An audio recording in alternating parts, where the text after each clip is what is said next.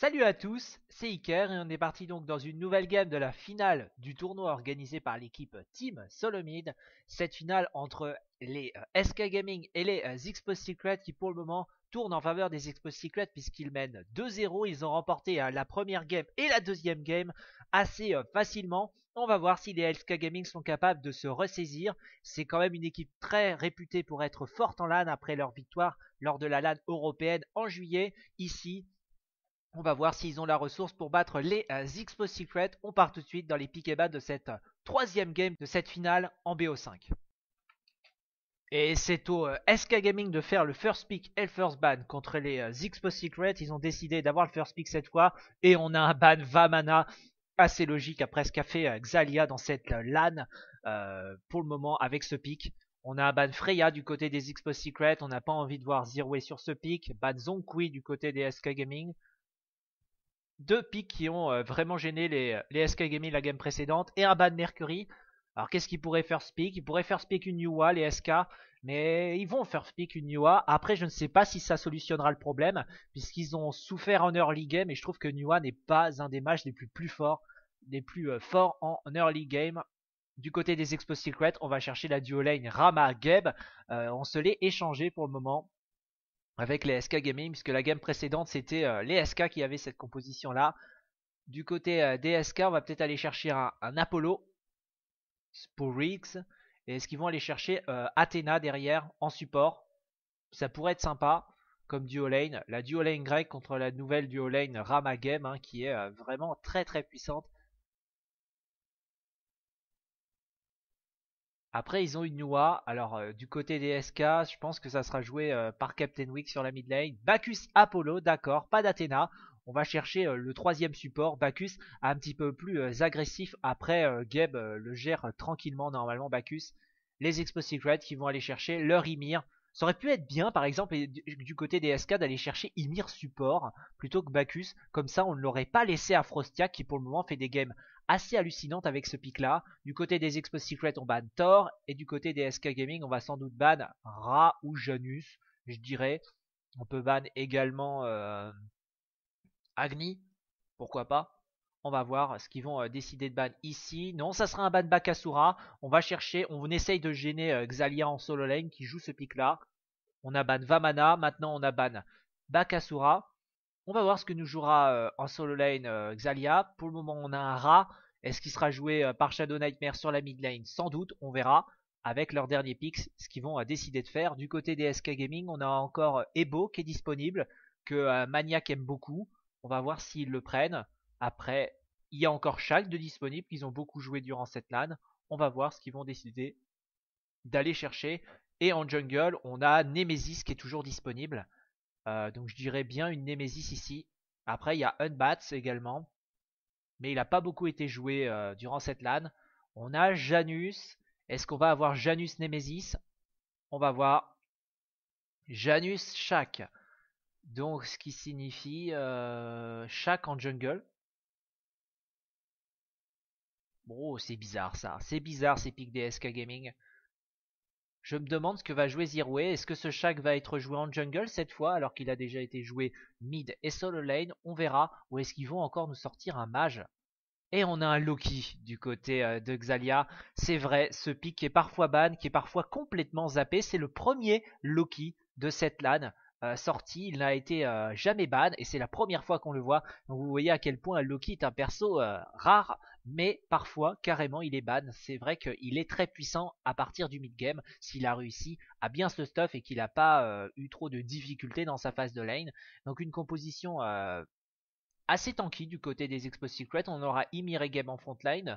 Et derrière, on aura euh, Xalia qui sera là et qui essaiera de, tuer des persos isolés.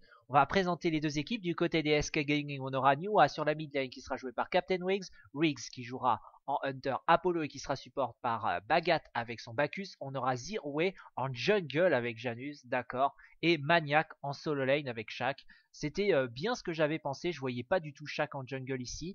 Mais euh, tenter un, Janus jungle, je suis sceptique. C'est vrai qu'il a des sorts puissant, mais est-ce qu'il peut facilement dépush comme un Ebo par exemple chez les mages ou un Ymir? On verra. Enfin, tuer les sbires de la jungle aussi vite.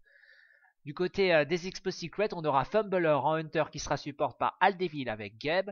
On aura Frostiak en jungle avec son Ymir, Shadow Nightmare avec Ra sur la mid lane et enfin Xalia en solo lane avec Loki. Allez, on part tout de suite dans cette troisième game de la finale entre SK Gaming et les Expo Secret. Et on est parti euh, dans la game, on retrouvera en bleu en bas de votre écran les SK Gaming et les Xbox Secret en rouge en haut de votre écran. Du côté des starter items avec son Janus Jungle, Zero est parti sur un starter classique, Masque de Mamba, Main des Dieux niveau 2, une potion de vie, une potion de mana. Du côté de Riggs, on est parti sur le prix de la mort, gantelet à pointe, pareil pour Funvoler avec son Rama. Du côté de Frostiak, il est parti sur son starter habituel sur Ymir, euh, Masque de Mamba, Elixir de puissance magique et des potions de vie du côté de Bagat. On est parti sur Don d'Observateur, Main des Dieux, pareil sur Aldeville. Du côté de la mid lane, on aura un linceuil vampirique artefact du côté de Niwa pour avoir un petit peu plus de régène mana et de la puissance magique. Du côté de Shadow Nightmare, on a fait le choix du, de la petite breloque pour récupérer plus de PV et tenir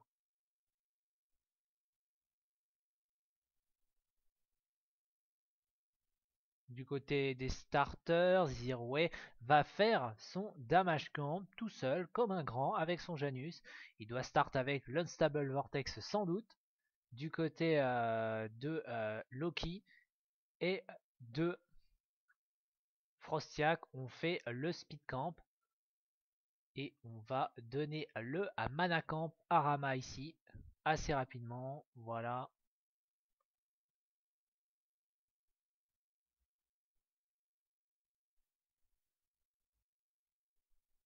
Du côté euh, de la mid lane, c'est à celui qui pushera le plus vite. Oh la grosse pression qui a été mise euh, sur Aldeville dès le début de la partie. Sans doute un saut euh, de Bacchus enchaîné avec quelques auto-attaques. Derrière le saut Beautiful d'Apollo, ça a permis de faire de bons dégâts sur Game. Après il a des potions et va les utiliser pour pouvoir régénérer Ymir qui counter les petites furies de droite de Janus. C'est bien joué et en plus il en laisse deux up. Donc il, il vraiment coince un petit peu l'expérience. Le Frostblitz qui passe sur Newa. Le 2. Ra qui place le rayon. Une auto. Deux autos. Trois autos. Ça fait mal. Oh là là, Niwak a perdu 90% de ses PV ici. Et Ymir qui va tenter. Il tente beaucoup de choses. Il utilise son speed camp à fond. Apollo qui se fait slow par le 2. Il utilise son So Beautiful. Attention, il prend des auto-attaques. Le Frostblitz. Attention, attention. Le prochain 2 va faire très mal. Le 2 fait mal. Il manque quelques auto-attaques. Et c'est le kill qui est pris par Frostiak. Très bien joué. Quasiment tout seul ici. Il aura été chercher le kill sur Apollo. Bien joué. Rix qui s'est un petit peu très mal positionné, qui s'est fait cancel son The Move avec le Frostbite. Très bien joué de la part de Frostia qui va chercher carrément tout seul ce kill sur le Hunter DSK Gaming. Frostia qui a fait son bac, il a acheté ses bottes rang 2, d'accord, une ward, des potions pour pouvoir tenir. Il va faire son petit camp de furie de gauche et il devrait enchaîner euh, le damage camp. Alors est-ce que Ymir va le prendre pour lui ou est-ce qu'il va le laisser à Ra? On va voir. pour le moment, Loki hein, qui dépush tranquillement avec son 2 à distance. C'est compliqué. Hein. Peut mettre la pression sur Loki, mais ça reste difficile à tuer un Loki en face de lane. Il sent... Là, il, est obligé d'utiliser euh, s'avancer, utiliser son 2, son 1 pour s'escape, car il sait très bien que le 1vs1 il est euh, gagné par chaque ici. Le portail qui passe sur euh, Frostiak, attention, le wall. Ça va. On a le repop des furies dans une trentaine de secondes maintenant. Attention, Ra et Ymir qui vont repasser, ça a pas l'air d'être vu de la part de Niwa et Janus. Ils vont se faire prendre dans le dos. L'ultimate de Niwa qui est forcé. Le Frostblitz. L'ultimate de Ra qui a été évité, j'ai l'impression. Bien joué de la part de Niwa. Euh, ça aura mis de bons dégâts sur Frostiak également. Il va être obligé euh, de back. Attention, il y a le repop des furies très bientôt. Après, il peut se faire soigner par le, soin de race qui sera sans doute le cas. Rama qui se décale, qui essaye d'empêcher l'intervention de Bacchus. Et les furies de droite qui auront été récupérées par les SK. Tandis que les furies de gauche récupérées par les euh, Secret.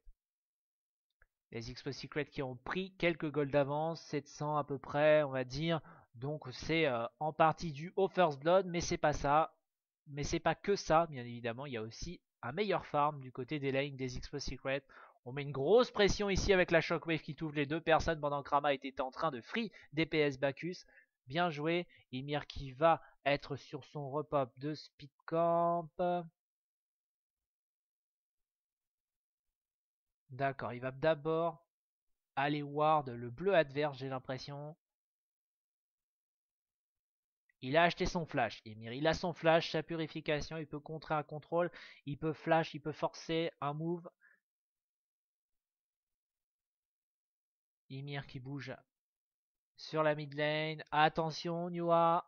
Le flash, le frostbridge, le 2, l'ultirac enchaîné, et le body block et l'ulti Ymir, et ça va venir à bout de Captain Wig et c'est le kill qui est pris par Frostiak. 2-0 pour Frostiak. Il aura fait deux énormes gants qu'on met la pression sur Apollo et Bagat et, euh, Bacchus, pardon, joué par Bagat. Très bien joué hein, de la part de Frostiak avec son Ymir. Il va aller faire le speed camp puis enchaîner le mana pour son euh, Xalia. Xalia qui est parti sur un crève-cœur rang 2, d'accord, il n'a pas pu le compléter au rang 3. Assez étonnant comme starter item, c'est vraiment un starter pour être safe, je pense, face à chaque. Mais euh, à noter que Zirway est niveau 7, alors que Frostiak passe niveau 8, donc ça va. Hein. Alors qu'il a 2 kills, euh, qui arrive facilement euh, à farm. Après, il prend pas mal de farm sur la lane du mid ici. Captain Wig niveau 7. Ra est niveau 8. Pose une ward. Attention, maniaque. Le Frostbreed qui est contré par l'ultimate de chaque. C'est très bien joué de sa part. Après, il a utilisé son ultimate pour ça. Donc forcément, il euh, peut être beaucoup moins agressif maintenant. Par contre, en faisant tomber l'ultime maniaque, ils savent très bien que Loki va pouvoir farmer maintenant. Donc c'est euh, plutôt euh, malin. Les bottes de match qui ont été terminées sur Shadow Nightmare avec son Ral. Devil a fini les bottes de Midas. Le gantelet du dévoreur terminé sur Rama. Il, attaque maintenant les tabis de guerrier. Du côté euh, des SK Gaming, le seul objet tier 3 terminé, c'est le gantelet du dévoreur terminé sur Apollo. Qui farme un petit peu moins bien puisque lui n'a pas pu acheter les bottes qui a été acheté par Funballer avec son Rama. On arrive au deuxième repop des Furies vers 6-20, 6-25, 6-20. Ça va être fait à droite par Zirway. Gale qui essaye de contester. Il y a Bacchus qui est là également. Attention, on est en train de fight ici. Maniac est un petit peu esselé. Le 1, 2. Le bon dégât. Oh, bien joué. Bien joué de la part de, de qui a utilisé son Thunder Strike Torrent pour sortir des dégâts de Loki. Ils y vont. Le portail qui est contré par la purification de Loki. Ça, c'est plutôt bien joué faut de bons réflexes pour faire ce genre de choses. Attention, Nua qui est un petit peu esselé, qui prend le Frostblitz, le 2. Elle, part dans, elle est partie vers la mauvaise direction. Mania qui va tanker à sa place. Elle s'en sortira. Elle dodge l'ultira derrière. Attention, Mania qui se fait cataclysme. Il est un petit peu esselé. Et le kill qui est pris ici. Mania a essayé de défendre Captain Wig. Et il en est mort. Captain Wig était parti vers la mauvaise direction. Il voulait retourner le plus vite possible sur sa mid lane. Il aurait peut-être dû être plus prudent. On a le tapis de guerrier euh, du côté euh, de Maniac qui a été terminé. Du côté euh, de Xalia, on a fini le crève-cœur, les bottes de concentration sur Frostiak et il a acheté sa purification rang 3. C'est un objet qu'on achète très souvent quand on est bien dans sa game avec Ymir, le portail, l'Unstable Vortex, oh, les dégâts que ça fait quand même sur un Loki. Loki n'est vraiment pas un perso très tanky.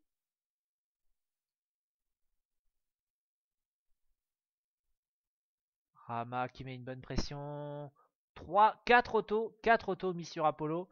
Euh, ça c'est bien joué, ça fait mal. Hein. Il a perdu euh, pratiquement euh, la moitié de ses PV.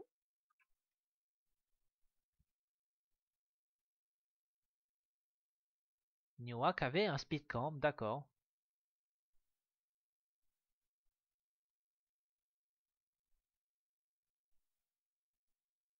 Donc pour le moment, en termes de gold d'écart, on a 2000 pratiquement gold d'avance pour les Expo Secret en 8 minutes, c'est vraiment pas mal. Après, ils, ont, ils jouent contre une composition qui est de plus en plus forte en late game. Yua, après il y a un Loki en face, il faut faire attention, le flash, ça a encore forcé l'utilisation de l'ultimate de Maniac. Attention, Frostia qui fait le tour. Shadow Nightmare qui réussit à prendre le kill en 1 contre 1 face à Captain Wig. Bien joué de la part de Ra, c'est quand même compliqué. Euh, qui a un peu fail ici. Oh, la Shockwave qui est contrée par le, la Serenade d'Apollo. On va essayer tout envoyer sur Maniac. Il utilise... Ah, c'était bien joué. Hein. C'est parce qu'il savait que Janus allait arriver qu'il a utilisé son Thunderstrike dans cette direction-là pour aller faire son torrent au moment où les autres allaient reculer. C'est quand même bien pensé. Hein. Ra qui arrive dans le dos. Le Frostbreeze qui passe sur Janus. Maniac a assez faible en vie. Ra, il est en train de se commit. Il a pris déjà deux tics de, de tourelle, trois tics. Et le portail qui va venir à bout. un petit peu mal joué ici. Xalia qui réussit à aller, grâce à son ultimate, prendre le qui sur Maniac. Attention, il a quasiment plus de mana. Euh, après, il a sans doute sa purification de E pour gérer le taunt de Nua, le portail qui passe. Oh là là, je sais pas s'il a sa purif, sinon on aurait pu contrer ce portail. Il a perdu beaucoup de PV. L'ulti One sera sans doute pas suffisant. Non, c'est bien ça. Ce n'est pas suffisant. Frostiak est très faible en vie. L'accélération de Janus, il va mettre le portail. C'est contré par la purification. Ah là là, et Frostiak a voulu défendre son allié et qu'en est mort.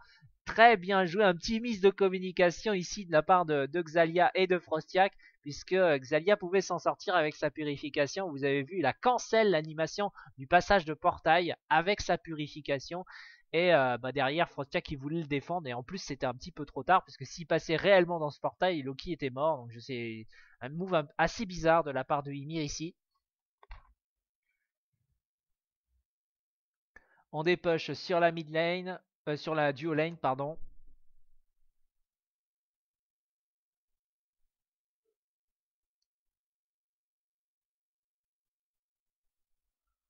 Mania qui va aller faire son mana camp. Et on est donc euh, sur du 5-2 pour les Expo Secret. Frostia qui est mort avec... Euh, il avait 2-0-1 comme stade, donc il a dû donner quand même pas mal de gold. On regarde 1700 gold d'écart maintenant, 1600. Donc l'écart de gold qui a diminué grâce à ce kill pris sur Frostiak. Les bottes de mage qui ont été achetés sur Captain Wig, les bottes de mage sur Zerway avec un petit artefact. On va voir, il fera peut-être un pendentif de Chronos sur, euh, sur Janus pour avoir un petit peu plus souvent ses sorts, pour pouvoir clean la jungle, gank plus souvent, avoir son ultimate. Et Nua qui se fait un petit peu push. Zaliak. Nua qui utilise son 1. Le rayon qui passera à côté. Oh, s'il a touché Zerway, il met quelques bons dégâts. Tentative de Gold Fury du côté des Expos Secret. Est-ce que ça va être laissé? Bon, c'est laissé en tout cas. Il y a la colère des dieux. Attention, on essaye de tout mettre sur Loki. Loki qui se fait finir par Bagat, mais Bagat qui est très très faible en vie. Frostia qui est très faible en vie, mais il se fait shield. Les Explosive qui prennent cette Gold Fury. Ils ont eu un mort. Bagat qui s'en sort, qui est resté jusqu'à la dernière seconde pour bait le rat. Et ça marche plutôt pas mal puisque Ra est maintenant très faible en vie. L'ultidrama qui ne viendra pas à bout de Bagat et Ra qui va sans doute se faire terminer même s'il résiste très bien dans son ultimate le shield de Geb et c'est le kill qui est pris par l'ultimate de euh, Geb euh, de Maniac et Apollo qui va utiliser une petite auto-attaque pour tuer Rama. C'est un très bon teamfight de la part des SK le cataclysme il passe à travers le portail et c'est le kill qui est pris par Bagat. Il aurait peut-être pu laisser ce kill Bagat qui a pris deux kills ici et on sait très bien qu'un kill sur un support, ce n'est pas très très utile. Attention, Ymir qui est là, dans les parages, il a son, speed camp. Et le Frostbridge sur euh, et c'est le kill qui est pris par Frostiak. Très bien joué ici. Encore un petit misplay ici. Euh, qui aurait tout, simplement pu back. Et euh, il donne un kill ici à Frostiak. C'est un peu comme tout à l'heure, Frostiak a donné un kill. Ici c'est Zirway. Et Zirway était vraiment dans une game parfaite. Je crois qu'il était sur du 3-0 je ne sais plus. On va voir quand on aura les stats. Mais en tout cas, Zero euh, avait de très très bons euh, stats. Donc il a donné beaucoup, beaucoup de gold euh, à Frostiak ici. Et regardez l'écart de gold qui, c'est, qui est toujours à peu près pareil. Hein, 2000 gold d'avance pour les Expos Secret malgré cette prise de Gold Fury. Qui était sur du 3-0-2 donc il avait de, très très bonnes stats, les meilleures stats de son équipe. À ce moment-là, bon, il donne un kill à Frostiak, ce n'est pas bien grave. Et cet écart de gold qui reste à peu près euh, homogène de 2000 gold depuis on va dire 6-7 euh, minutes. On est sur un écart de 2000. Donc les SK Gaming qui empêchent le euh, navire de, de, prendre l'eau. Ah, ils ont pris les furies de droite. Attention, Ra, Gap qui essaye de chase. Non, c'est bon. Nua Ils vont s'en sortir le bon mur. Mania qui va prendre très cher le Thunderstrike Torrent qui avait été prévu de la part de Maniac. Attention, il faut peut-être back quand même. Il faut pas être à portée de l'ulti Loki. Il utilise son sprint. Bien joué, bien joué. Et Maniac a récupéré une bonne partie de ses PV grâce à son 3. Du côté euh, de la mid lane, le wall qui utilise le Frostbreeze qui force l'utilisation de la purification, j'ai l'impression. Bagat, attention, est un petit peu esselé, il se fait shield par Geb, mais il va sans doute mourir. Mania qui prend le kill avec le Thunderstrike, il passe à travers des portails, ils, vont, sont en train de chase le euh, Geb qui est un peu esselé ici. Le soin de rat. Et ils vont placer le stun sur Geb qui force son cataclysme, le Thunderstrike, le Knock-up de Bacchus qui permet de récupérer le kill. Et c'est Captain Wick qui récupère le kill. C'est bien. Il est sur du 1-0-2, c'est le 1-2, euh, pardon, du 1-2-4. C'est le premier kill de la game de sa part. Ça va, mettre, ça va euh, ça va lui permettre de respirer un petit peu puisqu'il souffrait beaucoup depuis, euh, le début de la partie où Ra a quand même réussi à, prendre un, en 1 contre 1, il a réussi à le tuer. Et c'est du 8-6 pour les euh, SK Gaming qui passent devant en termes de kills. Après en termes de gold, on a resserré l'écart puisqu'on est sur du 1200 gold d'avance maintenant pour les Expo Secret. Donc c'est bien joué, les SK Gaming qui ne se laissent pas euh, faire et qui ont une composition qui est assez forte dans late game avec Nuwa, avec Janus et Apollo. Et Mania qui devrait être semi-tanky, semi-briseur on va dire. Donc euh, autant de dégâts que de tankiness sur ce chat qui est parti sur une peau de l'oursin. La Gold Fury qui va repop dans euh, une minute maintenant à peu près. Et on regarde les wards, hein. énormément de wards du côté des Expo Secret. Il y en a 4 du côté gauche, une du côté droit, tandis que seulement 2 pour les SK Gaming.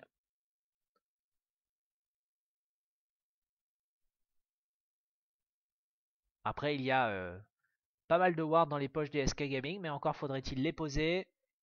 Il y en avait 6, il y en a maintenant 5 dans les poches. Euh, 6 pardon dans les poches. Voilà, c'est utilisé. Voilà, on a la vision. On a la vision du côté droit de la carte, du côté des SK Gaming.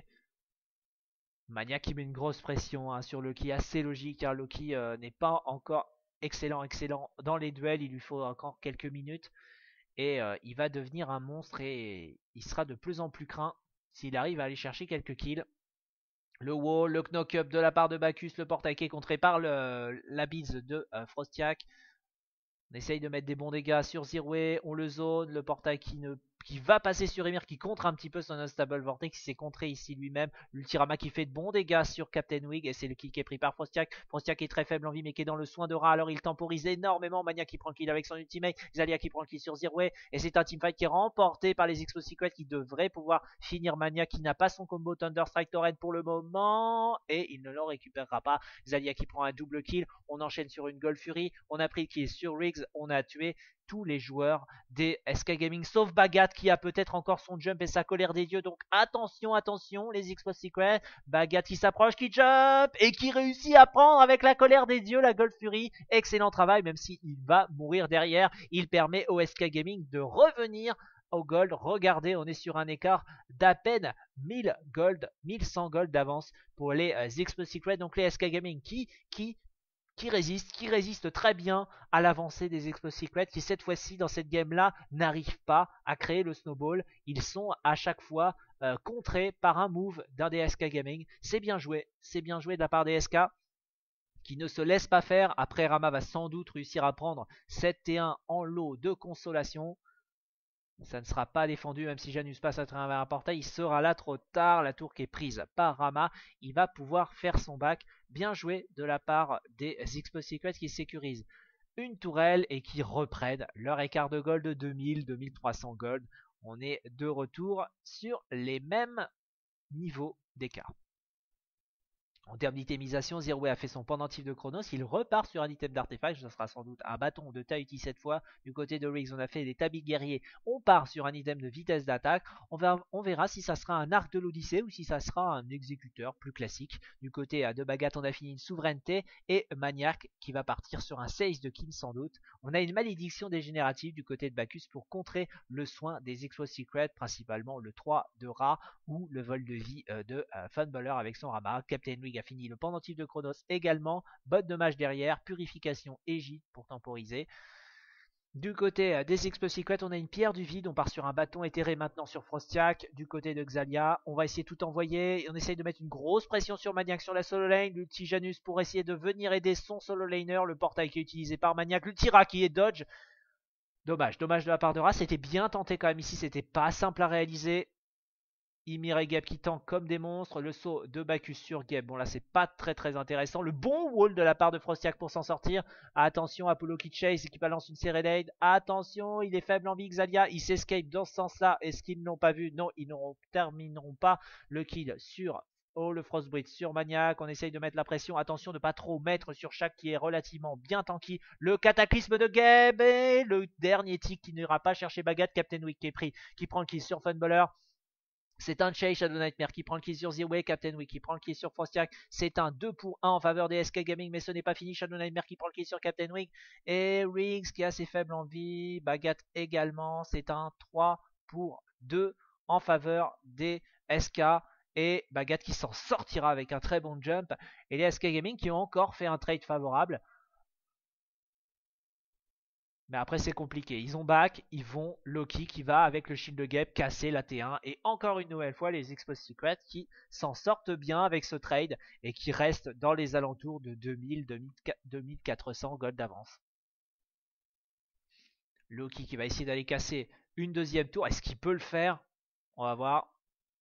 Ah, il peut pas, il peut pas aller trop haut en vie. Euh, euh, il y a le mode backdoor, c'est-à-dire que vous ne pouvez euh, la, tour est relativement plus tanky quand il n'y a pas de sbire à côté pour la taper.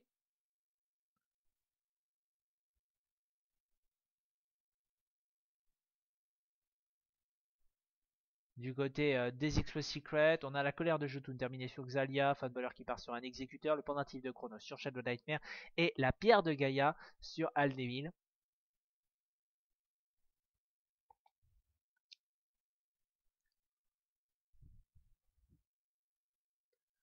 On fait le mana camp pour le donner à Xalia ici.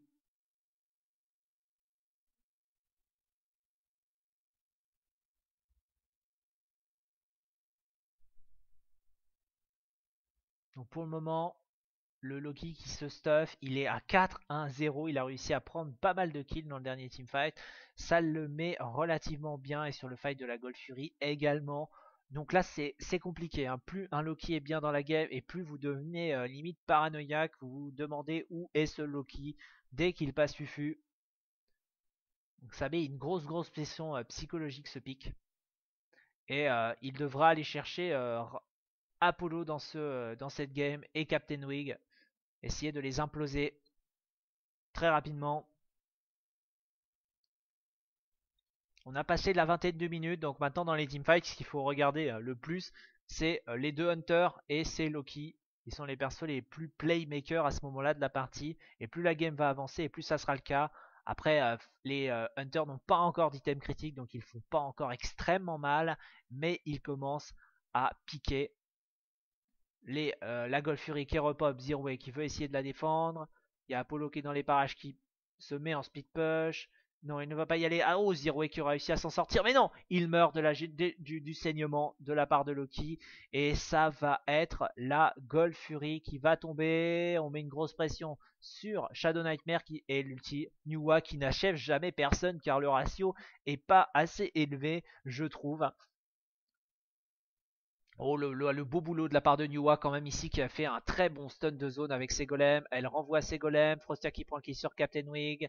Et Xalia qui va essayer de mettre un coup dans le dos sur Apollo qui serait suffisant pour le tuer. Oui, c'est fait. Le kill qui est pris euh, de Xalia qui est en rampage. Et c'est compliqué, hein. c'est compliqué. Frostia qui se fait finir par la tour. Rama qui se fait stun par Funballer. Euh, par Bagat, pardon. Et on va s'attaquer à la T2, la T2 de la mid lane qui devrait tomber pour les Expos Secret qui cette fois-ci ont enfin réussi à snowball. Regardez, plus de 6000 gold d'avance. Ça y est, la machine est en marche. On va faire une rotation sur le dommage et on devrait aller chercher facilement la T1 de la solo lane ensemble à 4 maintenant du côté des Expos Secret. Ça va leur permettre d'accentuer leur avance. Game ne back pas. Faisons cette tour ensemble. Et ça va tomber en faveur des Exploits Secret qui prennent donc un ascendant maintenant de 6000, pratiquement 7000 gold d'avance en faveur des Exploits Secret contre les SK Gaming. Est-ce que les SK Gaming pourraient pas tenter un, un all-lead au Fire Giant maintenant, sachant qu'ils ont vu que euh, le Rama a back Non, ils ne sont pas parti pour tenter ça. Loki a back également. Ils auraient peut-être pu tenter un move comme ça. Est-ce que ça va être tenté? Est-ce que ça prend un petit peu de temps pour le tenter? Non, ça ne tentera pas. Apollo qui est parti à l'autre côté de la map. Ça aurait pu être envisageable comme move de la part des SK Gaming qui sont très en retard maintenant et qui ont besoin de tenter quelque chose pour revenir. C'est vrai que si ça passe pas après euh, ce all-in au Fire Giant, ils ont perdu la game. Ils peuvent se dire qu'avec une composition, avec une Yuwa, on a le late game, il faut la laisser farm euh, et euh, elle va finir par faire mal. Mais c'est sûr qu'avec trois objets, elle ne fait pas encore très mal. Vous avez vu l'ulti Yuwa qui n'a pas été capable d'achever Ra. Et pourtant, Ra n'a rien pour augmenter sa résistance. il n'a ni point de vie, des résistances magiques.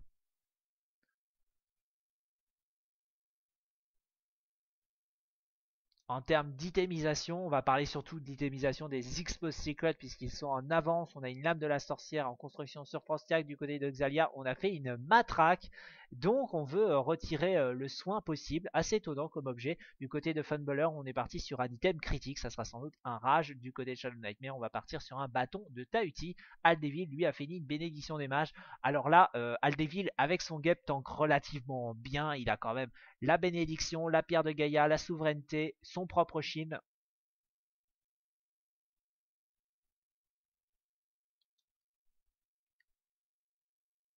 Apollo qui est parti en speed push.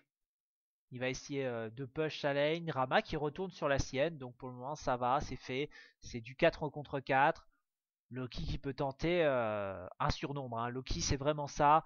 Il faut essayer de, prendre le contrôle, d'être sûr que l'adversaire ne ward pas. Et c'est euh, typiquement ce qu'il voulait essayer de faire ici Loki. de prendre à revers et de prendre à 2 contre 1 Apollo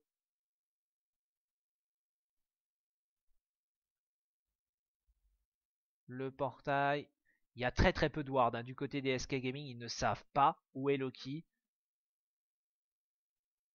Par contre, ils savent que Rama est passé par là.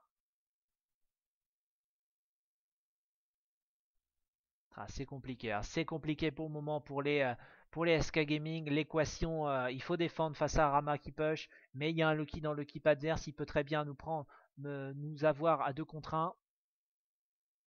On n'a pas le shield de Geb du côté des SK Gaming, il est de l'autre côté, donc forcément c'est un petit peu plus compliqué pour contrer les dégâts d'un Loki. Et les SK Gaming qui tentent de turtle, est-ce que c'est la solution? On va voir. Emir qui zone un petit peu, qui essaye de mettre quelques dégâts. Bagat qui lui met quelques dégâts, mais il est relativement tanky car il est bien dans sa game, Emir.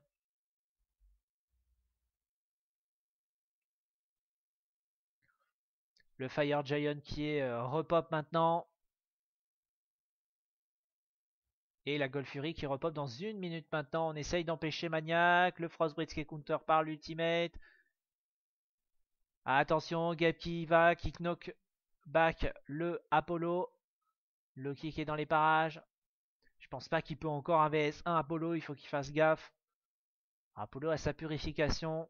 Il n'a pas fait le choix de jouer contre avec une égide. On voit parfois ça sur les Hunters contre euh, Loki pour pouvoir temporiser le bon wall. Captain Wick qui va prendre un ulti qui est counter par l'égide. Bien joué. Euh, l'ulti qui n'aura pris 0 dégâts. Mais pendant ce temps, les Explosive Secrets ont pris la T2 de la solo lane. Il ne reste plus que la T2 de la duo en vie. On vole le damage camp une nouvelle fois.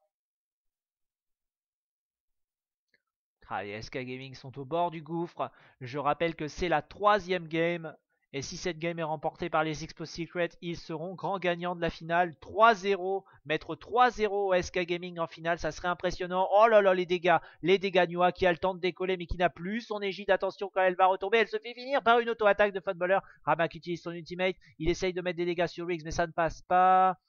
Le rayon qui passe, le cataclysme. Dommage, ça n'a pas été euh, symétrique avec... Euh, oh là là, oh là là, il tank pas du tout. Shadow Nightmare qui prend le kill sur Riggs. Et Shadow Nightmare qui prend le kill sur Bagat. Mania qui réussit à aller chercher un kill sur Ra. Il passe à travers le portail. Il va se faire finir. Funballer ici. C'est un 3 pour 2 pour les Explosive Il faut qu'il n'ait plus de mort ici. Le bon wall de la part de Ymir qui est chase par un portail. Il veut tenter quelque chose. Et l'ultimate. C'est très serré, c'est très serré. Est-ce que Zero va rester? Après Loki est parti. Donc il est un petit peu esselé. Le flash pour s'escape. Le wall. Le wall. Le portail. Le Sable Vortex. Attention, heureusement. Oh, le kill qui est pris par l'auto-attaque. Très bien joué. Gabe qui arrive pour le protéger. Bro. Beau move de la part de Frostiak ici, le Thunder Strike. Est-ce qu'il va réussir à aller chercher le kill L'ultimate de Loki? Et non, ils vont le tuer avant. Ils vont le tuer. Il n'aura pas le temps de tuer Frostiak. Et Mania qui se fait chase par Gabe, il faut pas le knock up. Et il la knock back. Donc là c'est pas terrible forcément. Et le Thunder Strike Torrent qui va lui permettre de s'en sortir.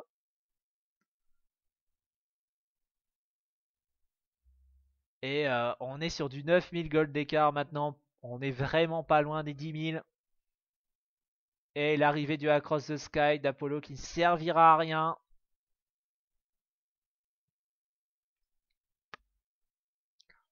Il y a vraiment des ultimates un petit peu gâchés ici. C'est compliqué. c'est compliqué euh, pour les SK Gaming qui tentent des choses, mais malheureusement là, l'écart de gold qui euh, ne fait que augmenter. Rama qui va aller faire la Gold Fury tout seul. Il pose une ward et il va faire l'objectif tout seul. Il suffit euh, aux Expo Secret de zoner le Fire Giant et les SK Gaming qui ne se doutent de rien. Zero qui est parti sur son speed camp. Loki qui est en train de mettre la pression sur cette line.